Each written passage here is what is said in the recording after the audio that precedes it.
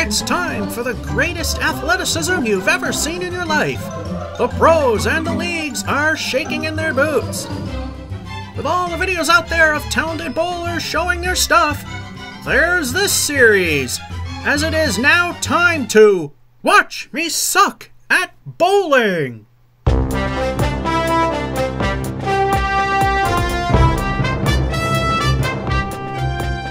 Welcome to another edition of Watch Me Suck at Bowling, coming to you from Harvard Lanes in Harvard, Massachusetts.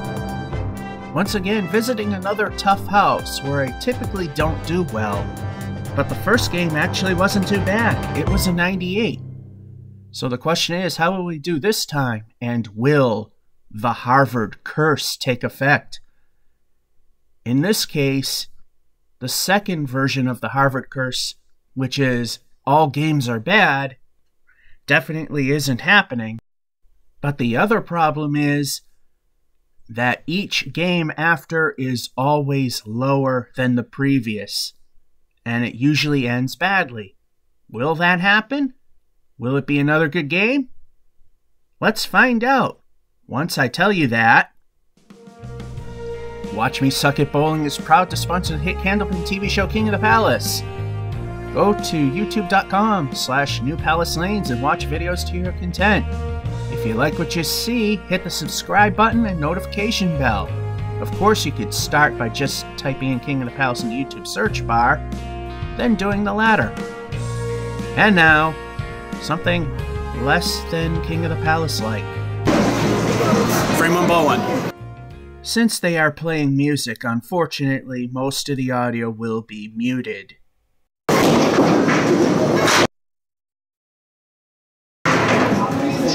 Ball two. There's one of those typical starts.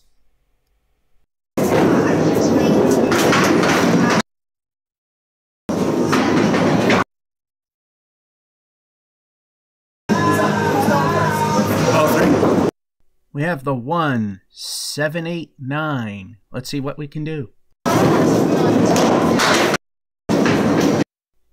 How appropriate. The 9 pin remains for a 9. And for those of you who like the pin setters, here's the Bowlmore in action, clearing what little is left, plus a lot of deadwood. And now to set a fresh set of 10 pins. There they are, and there you go. Frame two, ball one. So far, we're not off to all that bad of a start.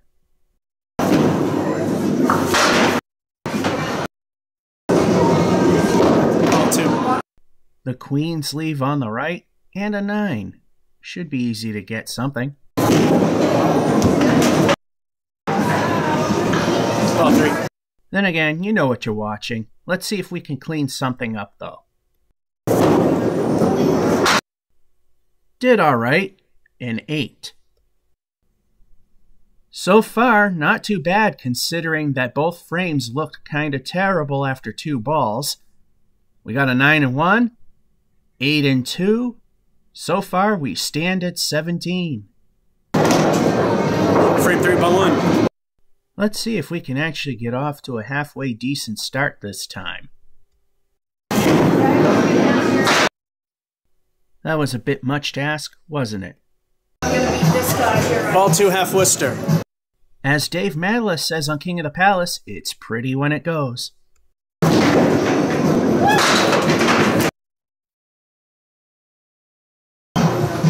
Ball three. It did not go, but it's not all that bad. Looks like we got another nine, with the middle finger remaining. Frame four, ball one. We are still looking for a decent start on ball one.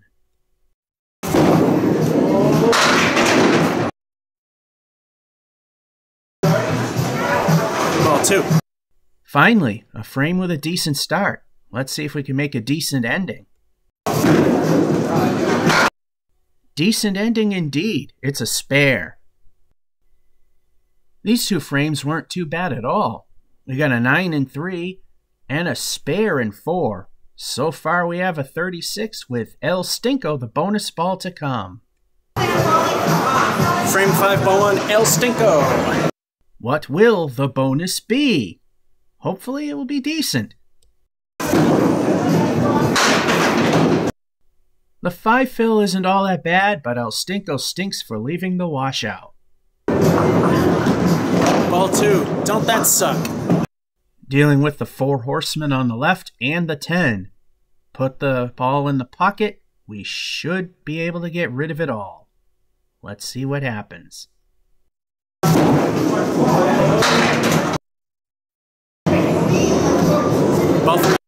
That ball was just a hair too far to the left. It wasn't a bad attempt, though.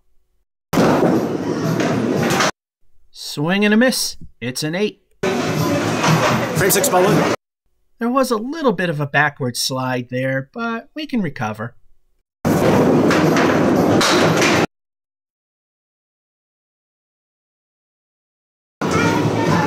Ball 2, Four horsemen left, piece of wood that could help guide the ball into the rest of them.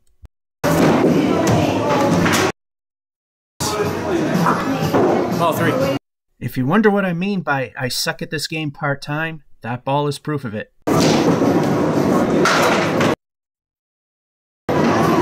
There's the I wish it was ball two moment with a 10. Those two frames were okay. We got an 8 and 5. The first 5 that fell made the fill for the spare. And we got a 10 and 6. We are at a halfway decent 59. Frame 7 ball 1. So far, it appears the Harvard curse is not taking effect.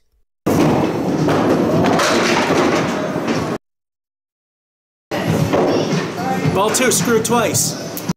We have a fattened pin. That should make it a fairly easy spare. That was the roundabout way of getting one. 8 ball 1, El Stinko. What will the bonus be this time around? Better or worse? El Stinko stinks almost as bad as it possibly can, with a 1. Ball 2. Well, remember what show you're tuning into. Let's see if we can clear this up.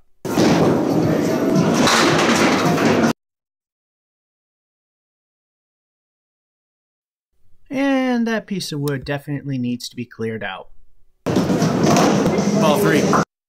On the plus side, it's about 70% of the lane it'll get us something. Of course, yours truly could find the other 30%. We get a 7. Well, that definitely could have went better. We got the spare in 7, which was pretty good, but unfortunately Curse of the Fill happened, where we only got 1 from El Stinko, and ultimately only had 7 and 8. We're at 77. Frame 9 ball 1. Things are falling apart a little bit. It's time to go and rebuild.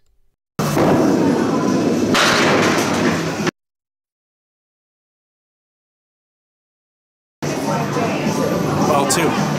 Don't you just love when you throw a good ball and you get a crap split?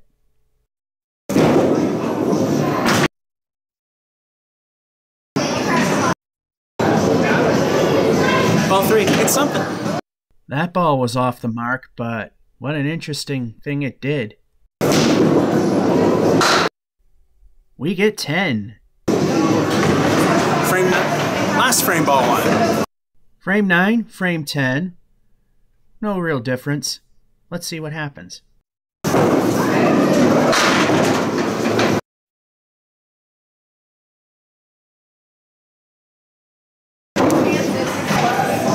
Ball 2. That's kind of an ugly leave, but we got some wood to help clear some of it out.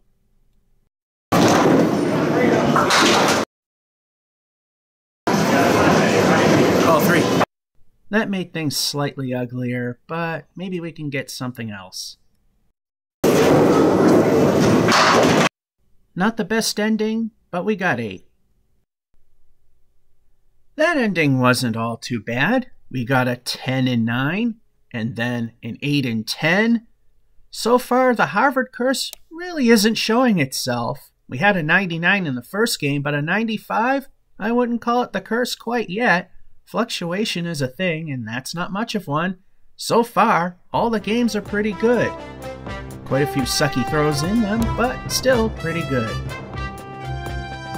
That concludes week two of five for the month of March 2020 for Watch Me Suck at Bowling.